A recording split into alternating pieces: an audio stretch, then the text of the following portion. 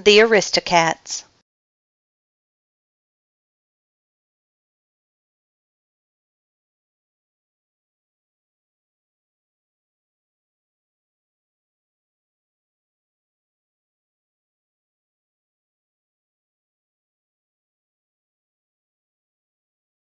Disney's The Aristocats. Published by Random House. Copyright 1973.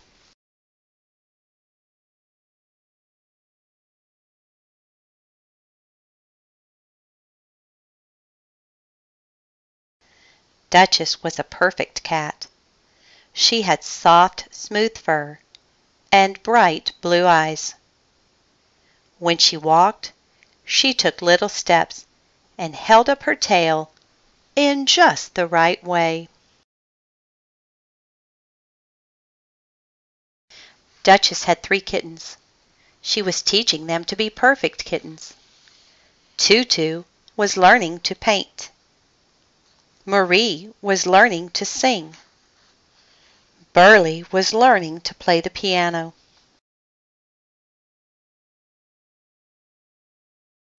and they were all learning to hold up their tails in just the right way. Duchess and her kittens lived with a very rich old lady named Madame. Madame was very good to her cats. She gave them the softest pillows and the thickest cream and the prettiest bows.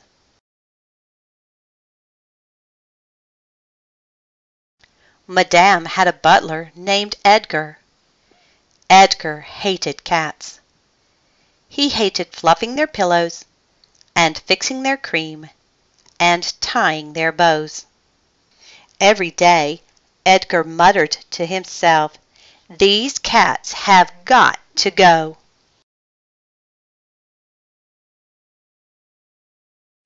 One night Edgar put something extra in the cream. Sleeping pills! Then he took the little bowls of cream to Duchess and her kittens. Do not forget your manners, said Duchess.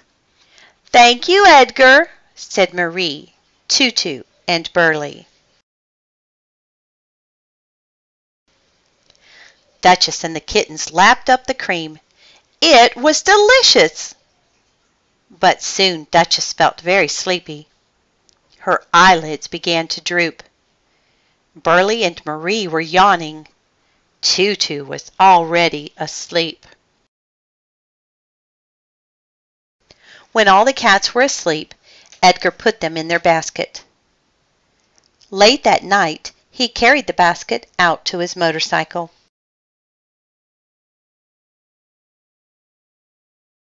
He took the cats for a long ride. When he was far away from the city, he left the basket under a bridge. Now they will never find their way back, thought Edgar.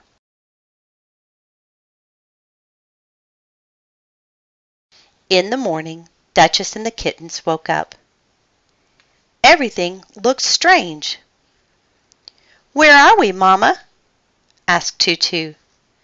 Do not be afraid, dear, said Duchess. I will think of a way to get home. But Duchess did not know what to do.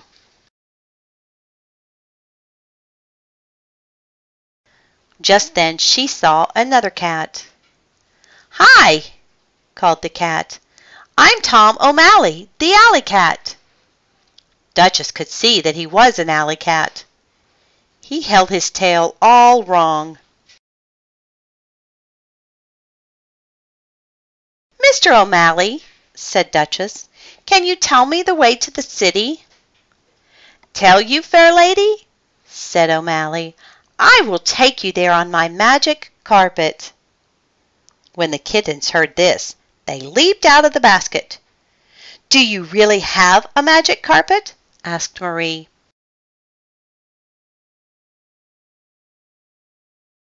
Kittens! cried O'Malley.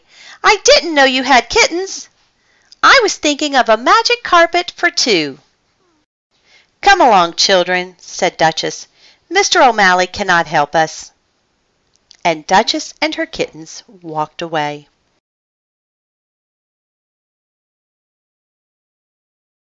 Wait! called O'Malley.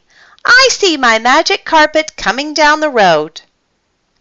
O'Malley's magic carpet looked like an old milk truck on its way to the city.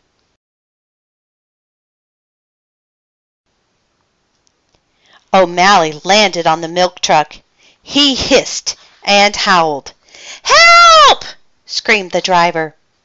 The truck screeched to a stop, and the driver got out.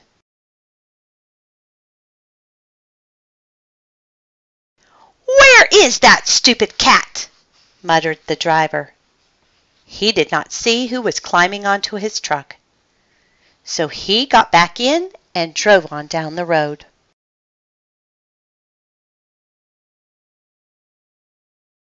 Is anyone ready for breakfast? said O'Malley. Where is it? Asked Tutu. Just close your eyes and wiggle your noses, said O'Malley. I need a little magic for this. So the kittens closed their eyes and wiggled their noses. O'Malley uncovered the milk can. The magic worked, said O'Malley. Open your eyes and see. The kittens opened their eyes. Milk! cried Marie. Oh, O'Malley is terrific. How true, said O'Malley. After a while, the driver turned around. Jumping jailfish, he cried. Cats! He stopped the truck and chased them away.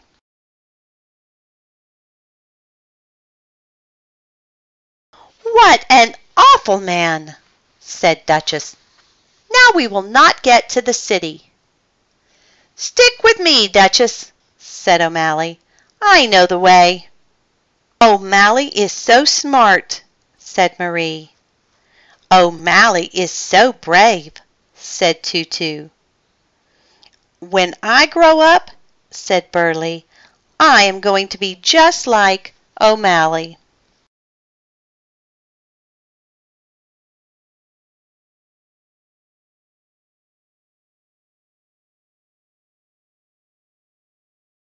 They came to some train tracks. The tracks went over a river. The kittens pretended to be a train. Woo-hoo! cried Burley. Clickety-clack, clickety-clack, said Tutu and Marie. Suddenly they heard a real train coming. It was right behind them. O'Malley got everyone under the tracks just in time. The train whizzed by over their heads. Marie was so scared she let go and fell off the bridge. Help! cried Marie. O'Malley did a daring dive.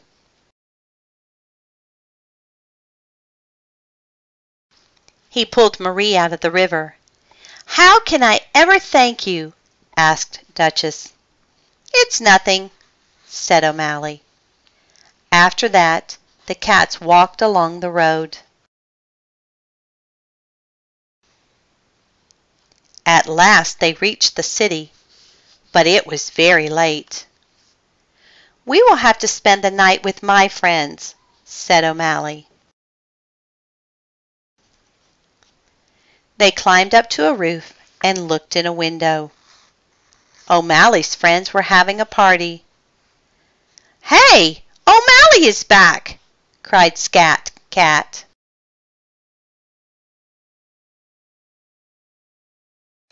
Everyone had fun. Scat Cat sang a song. It went like this.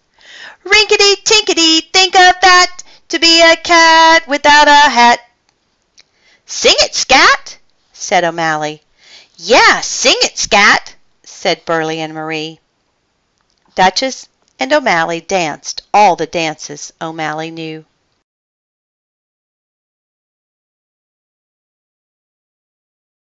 After the party was over, O'Malley and Duchess sat on the roof. "You have been very kind to us," said Duchess. "We will miss you, but to morrow we must go back to Madame." The kittens were watching from the window. "I don't want to go back," said Burley. "I want to stay with O'Malley." But the next morning they went back to Madame's house. O'Malley waved good bye. Edgar let the cats in. He was not happy to see them come back.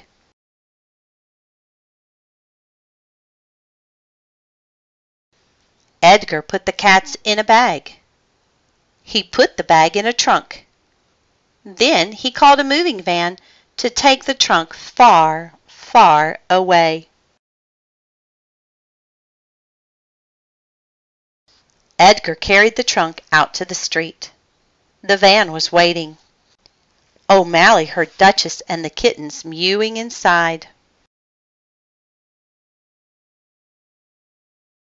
O'Malley leaped at Edgar. He hissed and howled.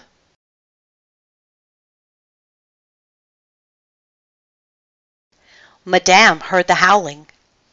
She rushed outside to see what was going on. There were Duchess and her kittens. "Oh, my dearest Duchess!" cried Madame. "You are all safe!"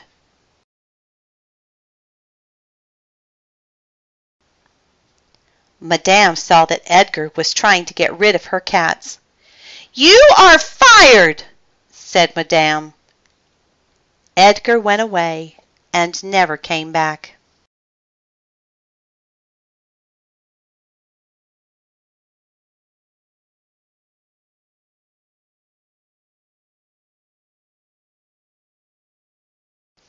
Madame said she needed a cat who was smart and brave.